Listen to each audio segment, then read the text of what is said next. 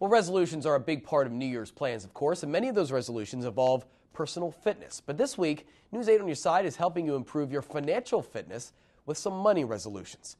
We've got resolutions for people in three separate income categories. This morning, we focus on three money resolutions for households making between 50 and $100,000. Here's consumer reporter Brian Roche. Certified financial planner Rick Rogers says he has seen some people learn some hard financial lessons recently. I think they have learned from it. Now, whether it's whether we hang on to that, I guess that remains to be seen. We tend to have short memories.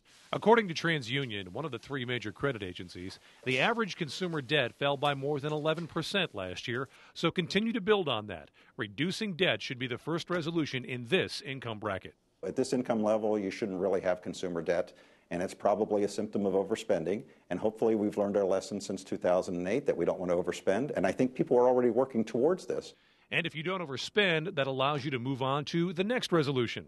Number two would be to increase your savings from last year. So, whatever you saved last year, and let's just say arbitrarily that we saved $5,000, a goal should be to increase that by at least 10%. And resolution number three convert your IRA to a Roth retirement account before the end of 2011 when income limits will come back. The benefit of the Roth in and of itself is that all the earnings are going to be tax free when it comes out. Establishing a Roth IRA is one part of the new three legged stool that Rick Rogers focuses on in his recent book.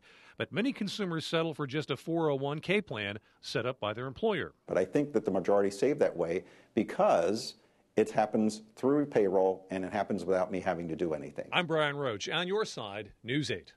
In the next report, financial resolutions for households making more than $100,000.